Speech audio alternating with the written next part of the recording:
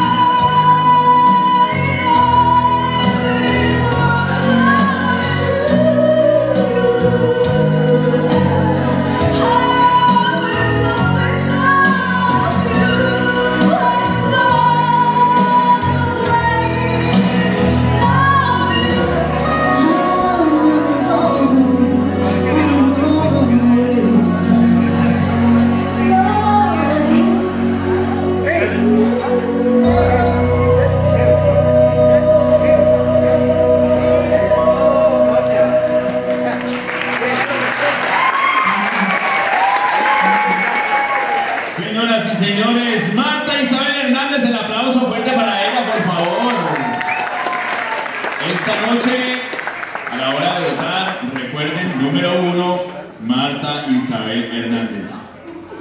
Me acordé de toda la película, ¿a usted no les pasó? Como que da la cargada, la la asunto. Pero nos pasa a los que ya tenemos ahí como ese, buen archivo de películas en la cabeza, tiempo nos viene con las bandas sonoras. Ahora vamos a invitar a la segunda participante que esta noche estará identificada con el número 2 y que a la hora de votar, si usted desea apoyarla, pues debe recordar, ella tendrá el número 2 para que lo marque allí en la boleta de entrada. Vamos a invitar al escenario a una chica que nos trae una canción de Tina Turner llamada Proud Mary. Ella es